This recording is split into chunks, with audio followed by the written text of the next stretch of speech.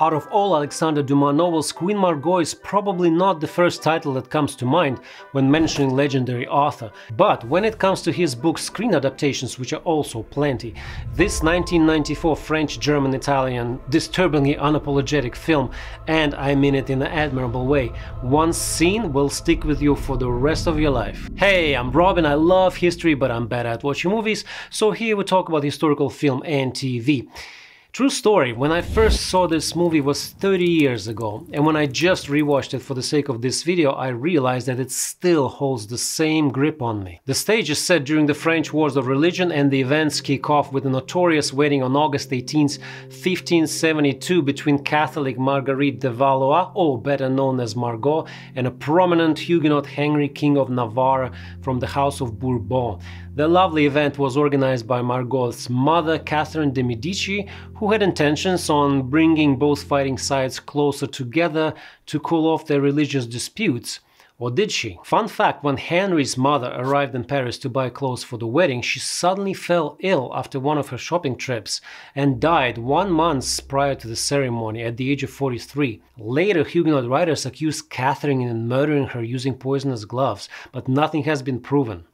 Who knows? One of the things the film does absolutely remarkably is right off the bat evoking this profound feeling of inevitable conflict without even letting us to pick the sides yet. It basically throws all the characters at us at the same time, but it does in such an amusing way that watching them growl and bark at each other is a pure joy. On the Catholic side, we have Queen Mother with four out of her seven surviving children. She had ten in total, by the way, with King Charles IX leading the way, and on the Protestant side, we have pretty much everyone dressed in black and white, blindly following their leaders King Henry of Navarre and Admiral de Coligny into a wolf's den. Catherine de' Medici here is written as a powerful, manipulative, multidimensional antagonist and a pretty toxic mother who drives the story exactly where it needs to go, but who doesn't have all of the puppet strings, which leaves plenty of room for life on screen to just happen. There is, however, a notion that Dumas might have been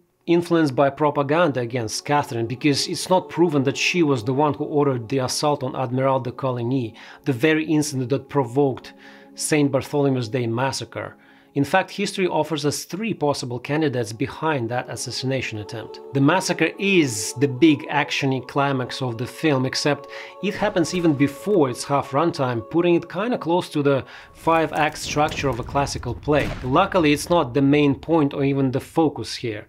This big epic drama doesn't need big battles to impress. Now don't get me wrong, there's still plenty of action here, driven by both political and personal reasons, that is constantly weaving in and out of a tragic romance and a fateful bromance, but Personally, for me, this film always have been about the change of heart and managing to coexist with your very dysfunctional and openly kinky family with clear favoritism and a disgust to anyone they deem not worthy. The movie makes sure you feel like an insider, not just an observer, to the point at times of kind of uncomfortable intimacy.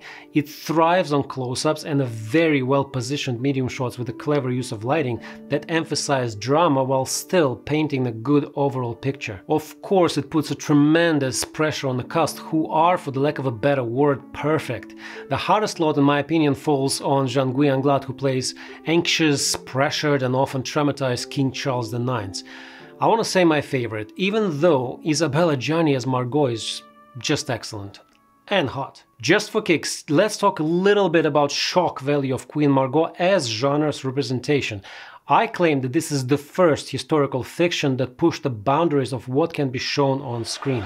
And even later, the glorious HBO of Rome merely just picked up the flag. And don't get me started on famous for that medievally influenced fantasy Game of Thrones, except please do, think about it. St. Bartholomew's Day Massacre is basically the Red Wedding, only on much, much bigger scale. In Paris alone, the body count was placed on 5,000 plus, with the aftermath in nearby provinces later almost quadrupling, actually more than quadrupling that number. One of the Queen Margot's protagonists that should be running around imposing some sort of justice by film and TV standards of the time shares the same fate with Ned Stark. House Lannister has nothing that rotting from the inside the House of Valois can't offer, and Cersei can easily take the masterclass from Catherine de Medici on how to deal with her enemies. Hell, the movie even has a wonderfully shot wild boar hunt that pretty much serves the same purpose as Robert Baratheon incident.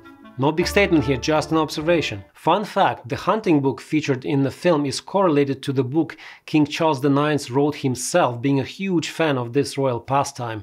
It was first published in 1625, uh, long after his death, but still remains a very valuable source for those interested in the history of hounds and hunting. Now, in all seriousness, besides all this groundbreaking courageousness, Queen Margot is rightfully considered one of the most important and influential French films of the 1990s, and it can literally strike almost any chord you fancy, be it intrigue, politics, drama, romance, action, sexuality, feminism, good lessons on history, or just simply a great filmmaking. One of the best additions to Dumas' universe on screen, it is structured, produced and presented in such a way that it just feels like an unforgettable Shakespearean tragedy.